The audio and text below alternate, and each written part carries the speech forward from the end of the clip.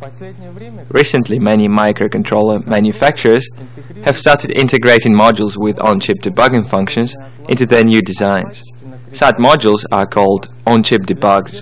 A special communication channel with the computer is necessary for supporting on-chip debugging.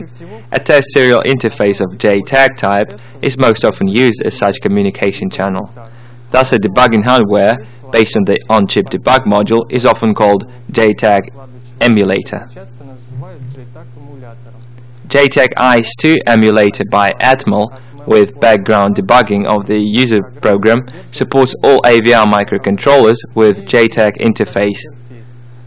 These are for example Atmega 128, Atmega 123, Atmega 16 and others. A program debugging for 8-bit AVR controllers is performed in the integrated programming environment called AVR Studio.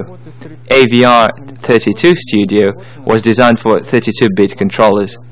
Version 2.2 is available on Atmel website. The supply set includes the emulator, a CD with AVR Studio and a user manual, RS-232 cable, a USB cable, a board connection loop, and an external supply cable. JTAG ICE2 emulates all analog and digital functions, supports a simultaneous scanning of several microcircuits, and can be connected to the PC through RS-232 or USB interface. It fully supports assembler and high-level languages, data and program breakpoints, all online operations and breakpoints. The emulator's target voltage is from 1.8 to 5.5 volts and supply voltage from 9 to 12 volts or through a USB cable.